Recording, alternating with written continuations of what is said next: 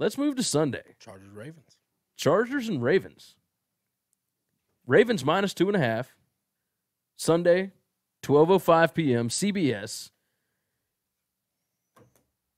I was surprised that the Ravens opened up the favorite here. I understand they're at home. I got that. Well, they just beat the Chargers in L.A. I, but even still, like you, game situations, you know, change from game to game because it, you know, just because one team wins one week, even if it is in L.A., doesn't mean that they are going to win the next go round. Correct. I actually think the Chargers play better away from home.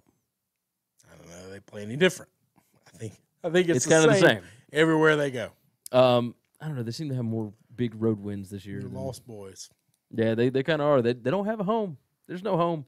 Uh, let's see. Lines two and a half. What's the total on this one? 41 and a half. 41 and a half. Went down a tick. Holy mackerel. So it opened at 42, went down to 41. Um, Philip Rivers, kind of been known the past few years as the guy that throws picks. The Ravens have the best pass defense in the NFL. Correct. the matchup, like Lamar Jackson against that Chargers defense, I think that actually kind of favors Jackson because the Chargers defensive line is nasty with with Bosa and Ingram. I do wonder if maybe they are he wants to be out of the pocket. Like he doesn't want to be in the pocket. And with they the way that they rush, I wonder if that plays to Jackson's advantage. I don't know. The, the only thing I can think of is he ran all over them just two weeks ago.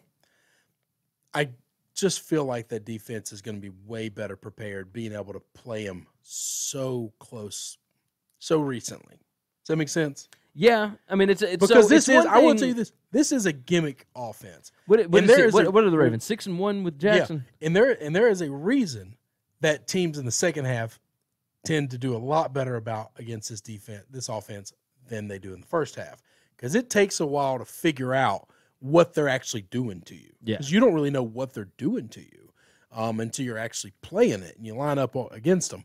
That that's my one fear is is normally it takes a half for teams to get used to that. The Chargers just went through it. Yeah, It's not like it was six weeks ago and they caught them off guard and they didn't know what to expect. was- it was Even when weeks. they played, they knew what to expect and still couldn't stop it. I just think, it, hey, listen, before the season started, this is my Super Bowl pick. All right. I'm definitely going to have them getting past the first round. that's That's yeah. just that's just it. Um, I think also, Jackson. this is some this is some news. If you're listening to this, you probably already know this. Hunter Henry is going to be back for this game, baby. really. Yes, sir. Big time tight end. I did not know that. And playing. Really? Yes, sir. That's a that's a big weapon, man. That's a big weapon. Yeah, no, it definitely is. Uh, Fired up about it too. look, I'm I'm going to take the Chargers because I now I've been going against Lamar Jackson this whole time. I feel kind of like an idiot. Um, Well, I haven't. I've bet on him a lot, and I've won. All, I've, I've won well, no, almost I, all I, of them. I took Cleveland plus five and a half. no, you did good. you know, for You yesterday. So. I, I won that game. Yeah. Um, but this one, I'm I'm going to take the Chargers plus two and a half. I'm I'm going to take them on the money line, uh, because I don't trust Lamar Jackson in big spots. And it's not. This is this has nothing to do with my trust in Lamar. At some point in time, Philip Rivers has to try to make his mark of legacy, and if he doesn't do it this season, then win, because this is the most wide open I've ever seen the playoffs ever, ever Yeah. in the NFL. This is the most wide open.